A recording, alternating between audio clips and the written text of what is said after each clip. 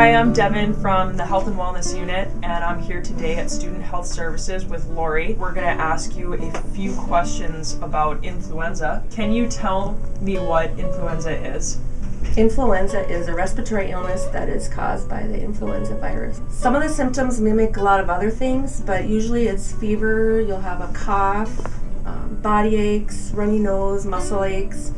And with the flu, a lot of times um, the symptoms hit you like all of a sudden. Unlike other illnesses like a cold, you know, that kind of comes on gradually or whatever, but sometimes the flu, not all the time, but majority of the time it just hits you. Could you tell me how the flu spreads? It's spread through um, respiratory droplets and, and sharing of utensils and sharing of any fluids, meaning kissing, anything like that. Um, it's important for hand washing because doorknobs, hand railings, things like that.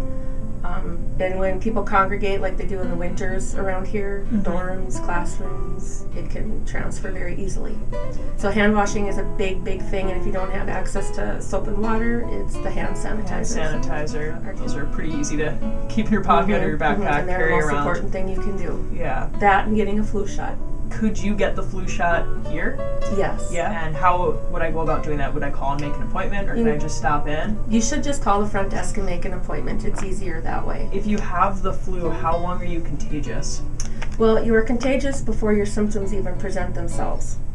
So you can be contagious a day or two before this, your symptoms present. Once your symptoms are present, Yeah. you are contagious that whole time, and then up to seven days after that. What's the best way to prevent s- spreading the flu? The very best way is to vaccinate.